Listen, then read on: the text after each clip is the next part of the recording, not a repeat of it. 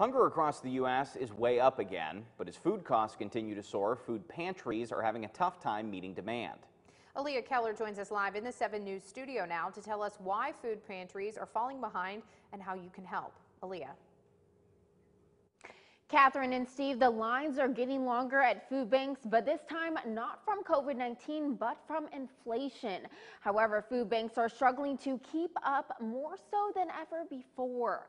The director of the Marshall County Family Resource Network, Stacy Dye, says a number of donors, support systems, and help from the government helped out during COVID-19, but those services have since run out.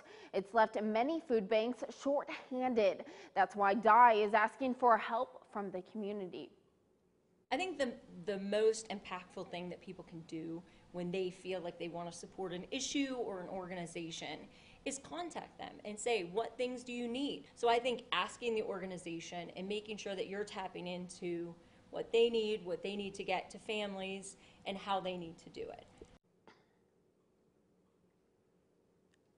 Dye also says it's not just homeless communities that now need help from food pantries, it's everyone. That includes single parents, seniors, or people who are just trying to get by. Now, if you'd like to donate or get help yourself, just go to the website right there on your screen. Live in the 7 News studio, Aaliyah Keller working for you.